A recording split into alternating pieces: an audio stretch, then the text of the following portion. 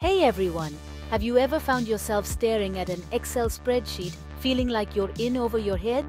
Well, you're not alone. Today, I'm going to show you how to supercharge your Excel skills using a tool you might not expect, ChatGPT. First off, why ChatGPT? Imagine having a helper that can generate complex formulas, analyze data, and even automate tasks right within Excel. Sounds like a game changer, right? Well, it is. Let's dive right in.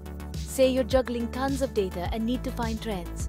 Usually, you'd sift through it manually, which can take hours. But with ChatGPT, you can simply ask it to analyze the data and highlight trends. And boom, it's done in seconds. Not only does this save you time, but it also eliminates the chance of human error. Now, on to formulas. We all know they can get tricky, whether it's financial forecasts or just managing budgets, the right formula can make or break your spreadsheet. Here's where ChatGPT comes in. Just describe the calculation you need and ChatGPT can help you craft the perfect formula. No more headaches trying to remember the syntax. But that's not all. ChatGPT can also assist in automating repetitive tasks. For example, updating figures weekly or monthly can be streamlined with simple scripts that ChatGPT helps you write. This means more time for you to focus on what really matters, the insights derived from your data. Lastly, let's talk learning. Excel is powerful, but there's always more to learn.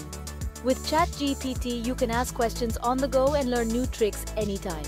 It's like having a tutor available 24-7, ensuring you're always at the top of your game.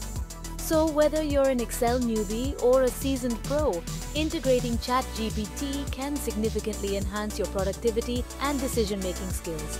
Give it a try and watch your Excel abilities skyrocket. That's it for today. Dive into this powerful combo of Excel and ChatGPT and unlock new levels of efficiency in your workday. Thanks for watching and don't forget to like and subscribe for more tips on boosting your productivity. See you in the next video.